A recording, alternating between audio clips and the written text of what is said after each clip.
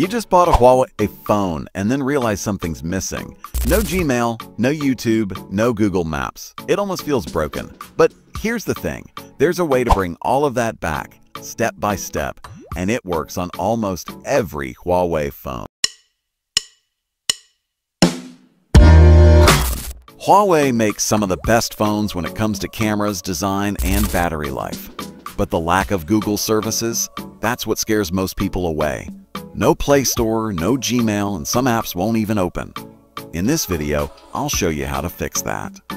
You'll learn the easiest method to install Play Store, Gmail, Maps, YouTube, Instagram, WhatsApp, everything you need. And by the end, your phone will feel like a normal Android device again. Before we get into it, do me a favor and hit that subscribe button and ring the bell so you never miss any of my videos. Alright, let's get started. Let's begin from the home screen.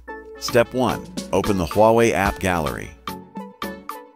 From here, download the application that kickstarts the process. Just tap Install and follow along.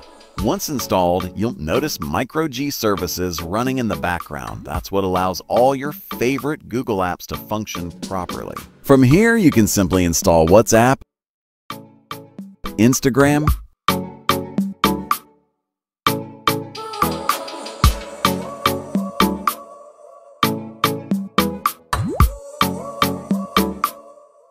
Chrome,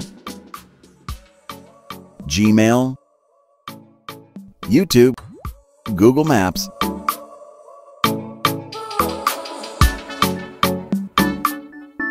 Everything works just like on a regular Android phone. Next, sign in with your Google account. Do this once, and all apps will automatically sync.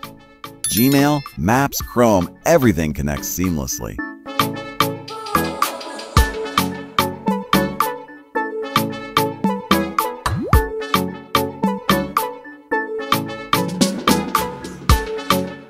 Now, if you can't find a certain app inside App Gallery, here's the trick. Install Gbox.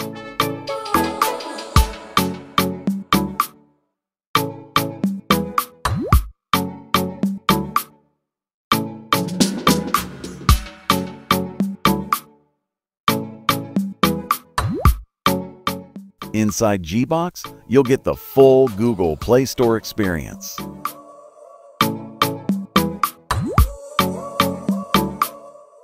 From there, you can download apps like Disney Plus and many more without any issue. As you can see, my Huawei now runs all Google apps smoothly. Updates are handled directly, and the process is safe and simple. If you want to see another method that installs Google services fully outside of Gbox, watch the next video right here. Also, I'll provide the download link for Gbox in the video description or the first comment, so you can download it directly.